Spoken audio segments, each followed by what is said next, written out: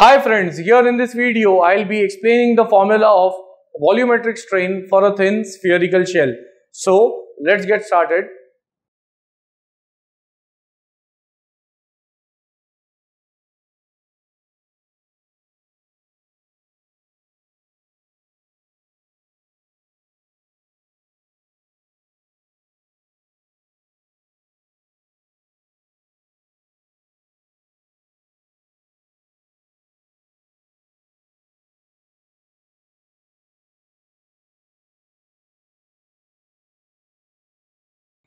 So here is a thin spherical shell with internal diameter small d. The thickness of the shell is small t. Both are in terms of mm.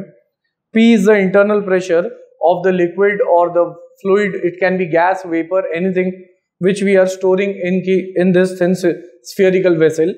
Now to get the volumetric strain, first I'll say that since the circumferential strain is given by the circumferential strain, the general formula is change in diameter upon original diameter. Keeping it as equation first. Because as we see here, when this spherical shell is getting burst, then there would be change in the diameter. And therefore, when I apply the circumferential strain for the complete spherical shell, that would be from Hooke's law, we can say that since the Young's modulus is stress upon strain, so therefore strain is stress, it is stress upon Young's modulus. So circumferential strain would be the circumferential stress upon Young's modulus. Now, when we see this, suppose in x direction, if the diameter is increasing, then along y it would be decreasing. So when we are taking the circumferential strain, on one end the circumferential strain is increasing, then the other end it would go on decreasing. So minus mu which is the Poisson's ratio into again the circumferential stress upon Young's modulus because from one side if the diameter increases then on the other side it would be reducing. So we have negative sign here. So that is also the formula for the circumferential strain. Next, in order to get the volumetric strain, first I'll write down that since the volume of the sphere is given by it is 4 upon 3 pi r cube. If I replace the radius with the diameter, then it will be radius is half of diameter which is d. So this would be 4 upon 3 pi d cube. And here we have 2 cube which would be 8 so after the cancellation therefore the volume of sphere in the form of diameter it comes out to be pi d cube by 6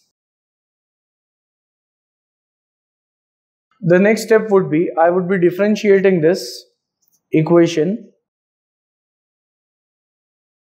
So we have instead of V it would be delta V then pi by 6 would remain as it is. For d cube it would be 3d square into delta d. Then after reaching up till here next step would be I am going to multiply that is after differentiating multiplying and dividing by d so that we get it in a proper way, proper form. So that would be, I want it in the form of volume. So volume is pi by 6 d cube. Here we have d square. When I multiply with this d, it becomes d cube. So pi d cube by 6. Here we have 3 delta d by d which is left. Now pi d cube by 6 is nothing but the original volume denoted by V. Change in diameter by original diameter is nothing but the circumferential strain. So finally, delta V would be equal to V into 3 into circumferential strain. So therefore, when I bring this original volume on one side, change in volume upon original volume is equal to 3 times of EC and that is nothing but E suffix V that is the volumetric strain.